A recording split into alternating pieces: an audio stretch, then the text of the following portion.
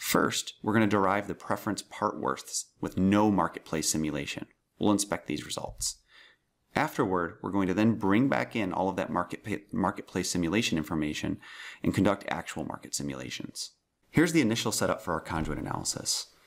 Notice that we have a selection for the actual conjoint design, and we're going to be estimating consumer preferences or utilities based on the actual pro product ratings. We're selecting the estimated from product ratings option here because we actually presented the actual product to people and had them score them. By conducting this analysis, we'll then derive preference part worths, or in other words, how much, how much each individual person valued each individual level of each attribute.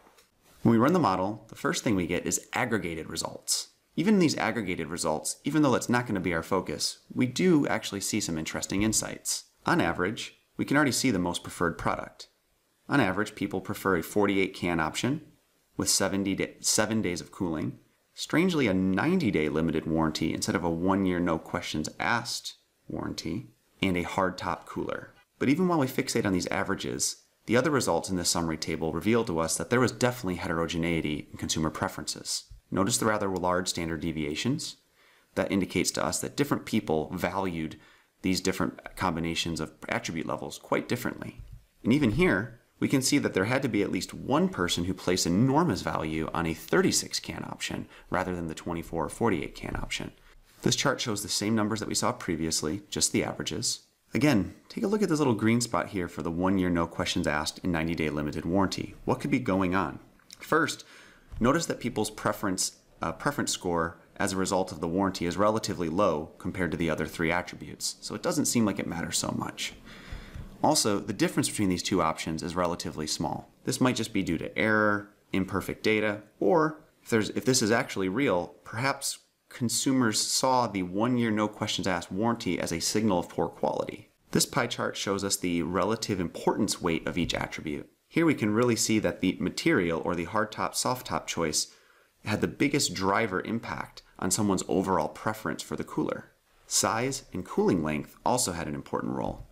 Warranty, on the other hand, regardless of which version of the warranty we presented, had a relatively small impact on someone's overall preference for the cooler. The next set of results, the detailed preference part worths, the most important key outcome of our conjoint analysis. Each one of our 85 respondents now has a beta weight for every one of the combinations of attributes and levels. Let's open this up in Excel, which you can easily do in Enginius, and work with these parameters.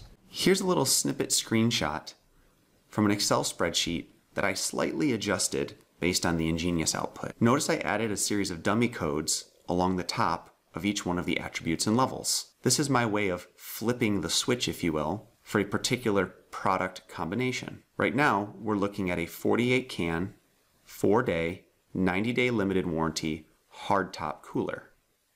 For respondent 1, we simply plug in zeros and ones as appropriate to simulate the version of Cooler that I just that I just show in the Excel spreadsheet. And we solve it all the way through, which is the equivalent is using this sum product function here.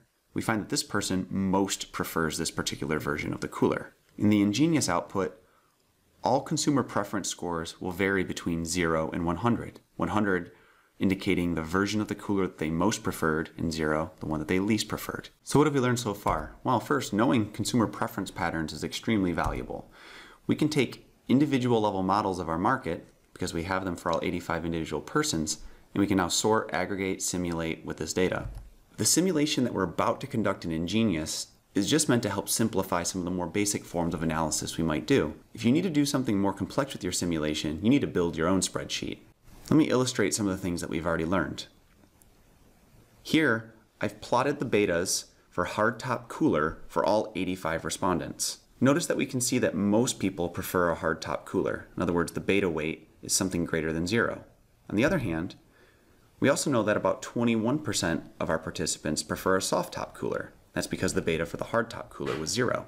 Further, we also know that every single person's preference is scaled between 0 and 100. That tells us that for about 27% of our market, over half of their entire preference score is driven by their preference for a hardtop feature. In other words, hardtop really matters for this particular market. A simple pivot table reveals some insights. In the inside, we have the average utility score for this most preferred version of the cooler. But the crosstab actually splits the results by household income and gender.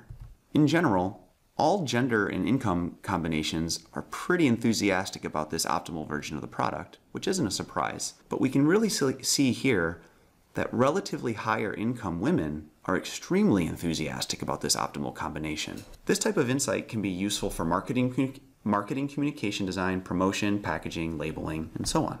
Before we dive into the Enginius simulation features, I need to emphasize one more time.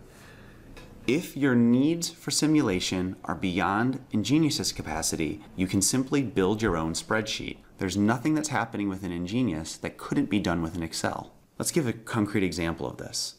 By default, Enginius can only simulate introducing one new product into the market at a time. However, what if your company was willing to introduce two versions of a product, such a light and elite version of a product, at the same time?